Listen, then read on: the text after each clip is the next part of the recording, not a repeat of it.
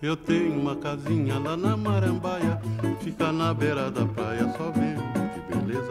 Tem trepadeira que na primavera fica toda florescida, de brinco de princesa. Patrícia, o que, que motivou vocês a fazer essa exposição e como é que você pensou essa curadoria? São mais ou menos 450 documentos, entre posters, é, revistas, fotos, documentos dele, toda a trajetória dele, boa parte é, inéditos também, muita coisa não, não, se, não se conhecia, não se tinha noção desse material. Eu tenho 54 anos de samba, então queria dar mais alguma coisa de mim ao samba ao Carnaval de São Paulo. Porque a gente conhece muito ele como o primeiro rei momo negro do Carnaval de São Paulo. Vamos fazer aquele carnaval que todo mundo esperava. Mas não é só isso, ele, ele é um artista completo. Ele passou pela música, ele passou pelo carnaval, ele passou pelo cinema, ele passou pelo teatro. Quem parte leva a saudade de alguém fica chorando de dor.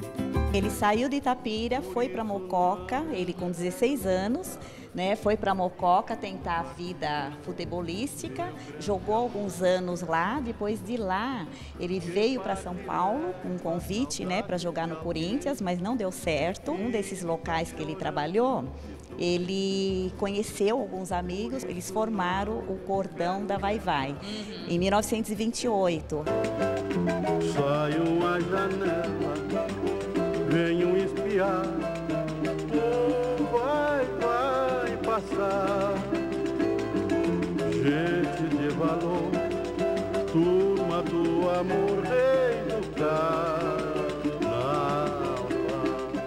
Eu era bom goleiro mas me estragaram, rapaz. Eu cheguei aqui, me levaram para um pagode onde tinha cada cabrocha que eu digo, não, não dá para entender, sabe? Eu acho que eu vou ficar por aqui. Aqui a gente entra na parte do Henricão cinematográfico. Aqui é um dos filmes que ele participou, porque ele participou de vários filmes, né, com Mazarop. Este é meu caminho, que choro baixinho, sem consolação.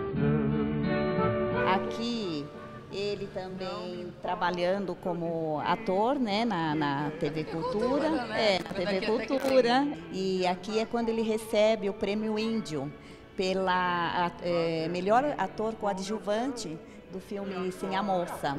Para vocês tudo aí! Para e escute! Escute bem vocês tudo! Nós não podemos arriscar de ser presos. Eles vêm já aí os soldados, os capitão de mato. Ele teve dois momentos, Renata, de Rei Momo. Ele era um cara de muita simpatia, as pessoas relatam muito que ele era uma pessoa é, o verdadeiro rei, porque ele fazia questão de ir até as escolas de samba, de participar do processo de organização é, da festa, né, do carnaval. Então ele se comportava de fato como uma pessoa dentro do carnaval, dentro das escolas que tinha essa relação.